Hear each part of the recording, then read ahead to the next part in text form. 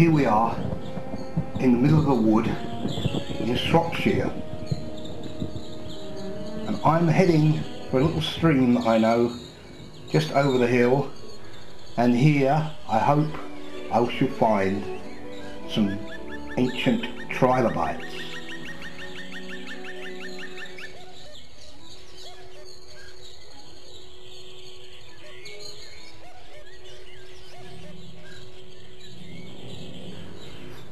These streams cut down into the Silurian bedrock which was laid down some 500 million years ago and I'm hoping that somewhere in amongst the uh, rocks of the stream and surrounding areas I might be able to find some dalmanites which are another type of trilobite.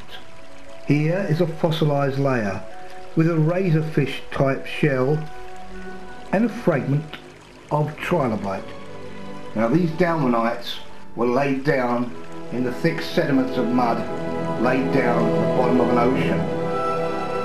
Another long shell, but beside it, looking rather like a butterfly, is the impression of a dalmanite trilobite.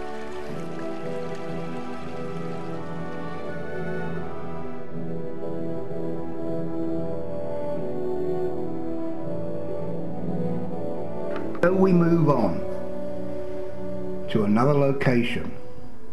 It seems hard to believe that this part of Shropshire was once under a shallow ocean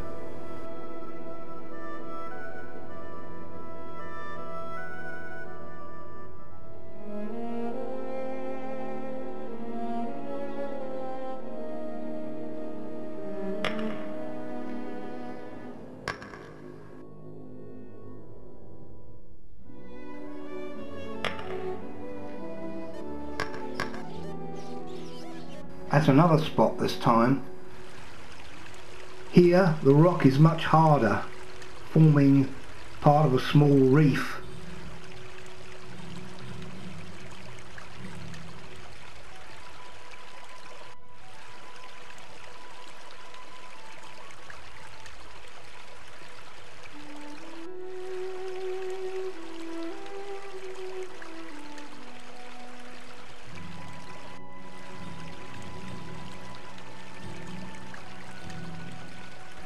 here we find the fossils of small shells of various kinds but unfortunately no trilobites today.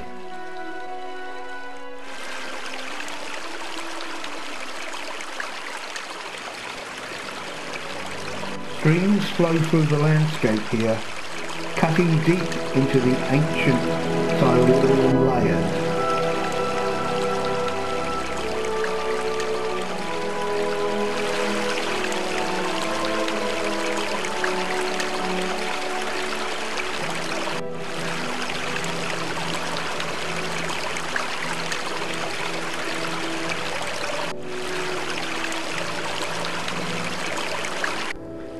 Particular dell, the rock is fragile and stained with iron.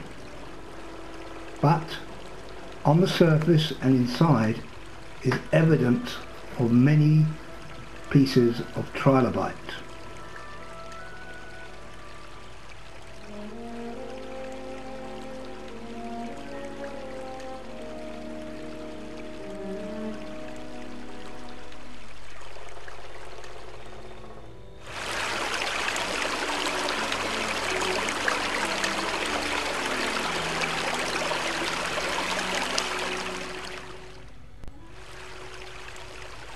And now we are where the strata runs under the roots of an old tree. And our first find is the small head of a dalmanite trilobite which seems to have fallen down from the upper layers.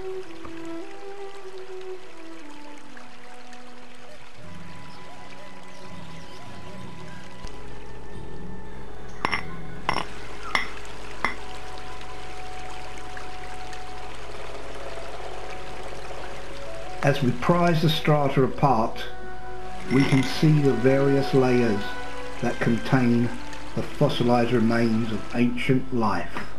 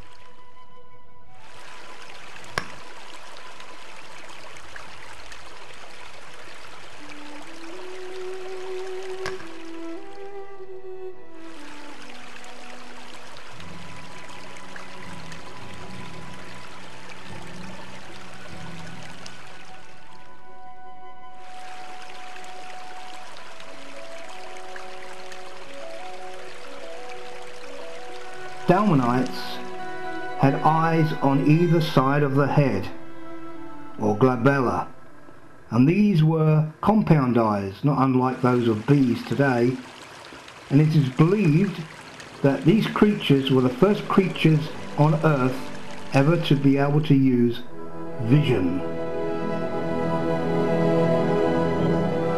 And now I'm afraid we must leave the beautiful county of Shropshire.